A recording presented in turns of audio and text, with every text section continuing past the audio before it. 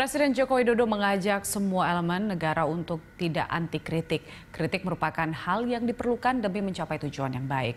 Menurut Jokowi, kritik juga merupakan bentuk perhatian terhadap pemerintah.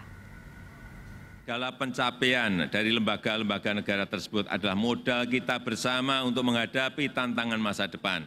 Kita tidak boleh cepat berpuas diri.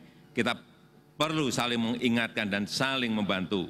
Kita tidak boleh alergi terhadap kritik bagaimanapun sebagai wujud kepedulian agar kita bekerja lebih keras lagi memenuhi harapan-harapan rakyat. Tentu dalam negara demokrasi perbedaan antar individu bukan alasan bagi kita untuk saling menghancurkan atau bahkan saling meniadakan.